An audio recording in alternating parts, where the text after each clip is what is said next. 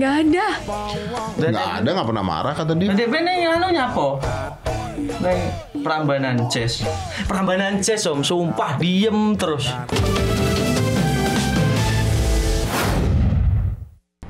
Tapi udah, udah ya. Kalau cowok Udah, ini, cowok kalau ini. Cewek kalau cewek apa gitu. Ya. Udah. Denny Caknan antara cari nama bayi dan istri yang mendadak pencemburu berat. Belum genap dua pekan mengumumkan kehamilan Bella Bonita istrinya, Denny Caknan sudah siapkan nama untuk calon buah hatinya. Benar-benar excited sekaligus gaspol. Pokoknya serba satset. Hal ini diungkapkan Denny saat diundang ke podcast Deddy Corbusier kemarin. Udah punya nama, Bu.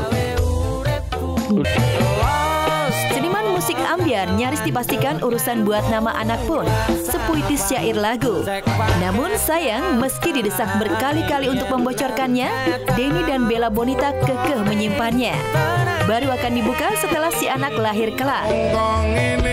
Membangun keluarga dan langsung dapat amanah adalah anugerah tak terkira. Syukur tak terhingga juga diuntai Denny Caknan. Hanya saja seiring kehamilannya, Bella Bonita juga mendadak berubah jadi super pencemburu. Gampang banget ngambek dan sewot. Pokoknya kelas berat. Ya. Bisa jadi karena ngidam atau karena bawaan si bayi. Tapi bisa juga karena bawaan hati loh, alias baper. Bagaimana nggak baper, nggak cemburu? Soalnya Denny Caknan dekat lagi dengan Happy Asmara, yang notabene jelas-jelas si mantan pacar. Manusiawi jika hati Bella Bonita panas terus. Denny Caknan dan Happy Asmara belum lama ini berbaikan, sepakat akur lagi. Bahkan keduanya langsung menyepakati membuat proyek bareng, berupa sequel hits mereka berdua Satru dengan judul Satru 3. Bahkan terbaru, Happy sudah membagikan proses rekaman proyek mereka berdua ini. Saiki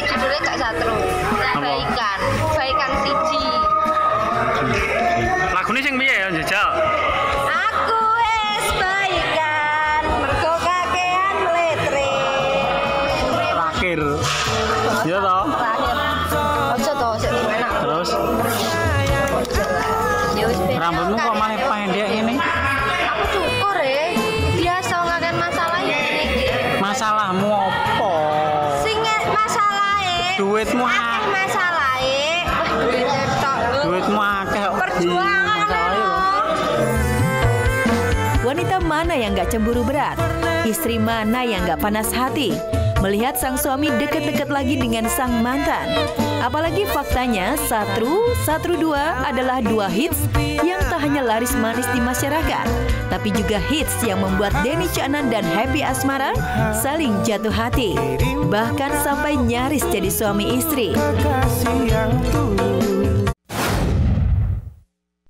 saya datang kondisinya udah begitu jadi mereka bilang-bilang wah teriak-teriak "Oh, kalau bangun bangunan di atas saluran air bukan saya yang bangun Klinik Tompi digeruduk masa.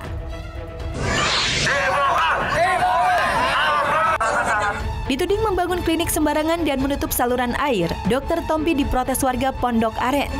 Masa bahkan lumayan beringas dengan nekat menggeruduk klinik milik Tompi yang berada di Jalan Jombang, Jakarta Selatan.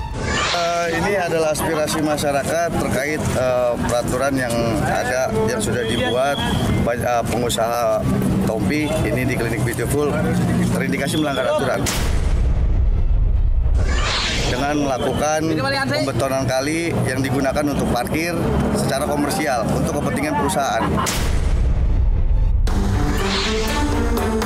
Masa yang mengatasnamakan Aliansi Warga Pondok Aren menuding lahan parkir yang digunakan oleh klinik kecantikan milik Tompi menyalahi aturan karena telah menutup saluran air. Untuk itu mereka menuntut agar Tompi membongkar saluran air yang berada tepat di depan klinik kecantikan miliknya. Tak hanya itu, masa juga meminta Tompi untuk mempekerjakan warga lokal di kliniknya. Tuntutannya kami masyarakat dibongkar untuk eh, dari perusahaan kita minta bukan hanya dari perusahaan milik Tompi tapi dari perusahaan yang ada di Tangsel khususnya di Pondok Aren kerjasama dengan masyarakat lokal. Menghadapi aksi protes massa di kliniknya, Tompi sangat menyayangkan aksi tersebut.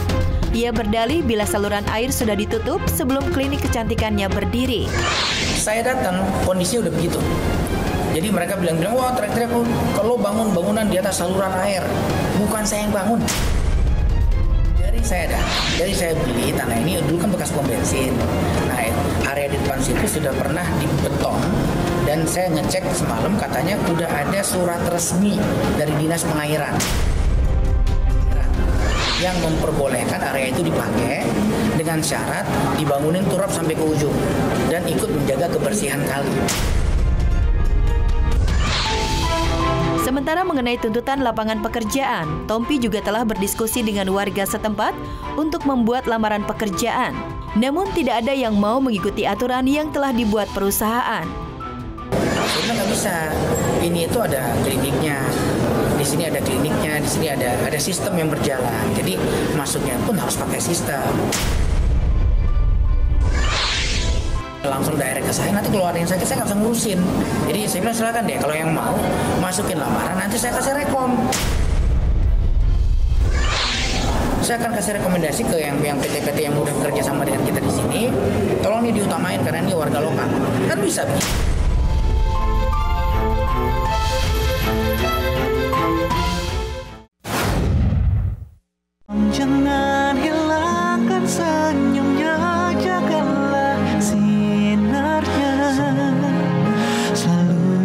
jaga hangat peluknya Terus cintai kekurangannya Dan beri waktu Seperti bintang di langit ketujuh Pesan romantis Vidi di ulang tahun sang istri. Vidi Aldiano membuat kejutan di tengah sorotan publik yang jarang melihat Vidi menghabiskan waktu berdua dengan istrinya, Sheila Dara Aisyah alias Ai.